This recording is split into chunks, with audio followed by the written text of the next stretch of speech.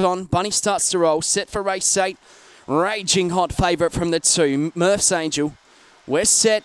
Ready, boxes fly open, beginning well at the start. Murph's Angel, but from out wide as Winter Rise. Benny Hughes as Winter Rise looks for the leader. Was ruckusing there with Should You Dare, and Should You Dare is clear. In second spot, trying hard now would be uh, Murph's Angel. Third and in behind it is Demonic. Further back behind those, we've got trying to run onto Nifty Norris. Uh, passing it now would have been Georgia Zosti. Off the back straight though, under siege is Should You Dare. Murph's Angel, the favourites, grabbed it, and it's Murph's Angel going home a winner. And Murph's Angel, two good defeats in second spot. Demonic a Grand Run. Third home, Georgia Zosti. Wilting late, should you dare, for fourth. Running past it, uh, past the line, then would have been Winter Rise. Uh, further back behind those two, Nifty Norris, Euchre Queen, and Jack Wilkes towards the tail in a time of 30 and 49 in the two. Murph's Angel at $1.50 and $1.30 was well backed and, and won like an odds on favourite should.